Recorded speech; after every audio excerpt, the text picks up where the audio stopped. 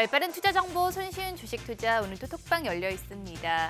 오늘은 파이브스타 모바일 전문가 강성현 대표와 전화 연결되어 있는데요. 안녕하세요. 네, 안녕하십니까? 네, 현재 양시장 1%대 하락세 계속해서 이어가고 있습니다. 이 시간 눈에 띄는 특징 업종 어떤 게 있을까요? 네, 오전장은 음식료, 어, 사료, 비료 업종의 강세가 이어지고 있습니다.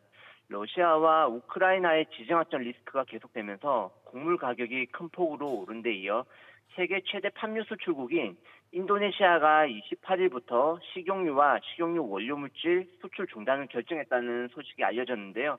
팜유는 식용유나 가공식품뿐 아니라 화장품 그리고 바이오 디젤 등의 원료로 들어가는 만큼 어, 생필품과 직결되는 중요한 자원입니다. 이는 러시아와 우크라이나 전쟁에 따른 해바라기 씨유 수출길이 막히면서 대체제인 팜유 수요가 급증한 데 따른 조치로 해석되고요.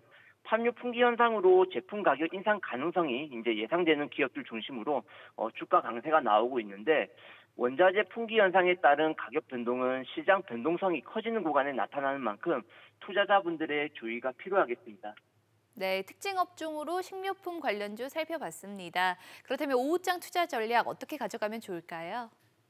네, 지난주 뉴욕 증시가 그 미국의 예상보다 이제 빠른 긴축 소식으로 급락한 데 이어서 국내 증시 포함해서 아시아 증시 역시 하락을 이어가고 있습니다. 어, 글로벌 위험 회피 심리가 확대되면서 외국인 투자자분들의 그 매도 어, 이번 주 역시 미국의 주요 기술주들, 어, 애플이나 뭐 마이크로소프트, 아마존 등의 실적 발표가 있는 만큼 변동성이 클 것으로 예상됩니다.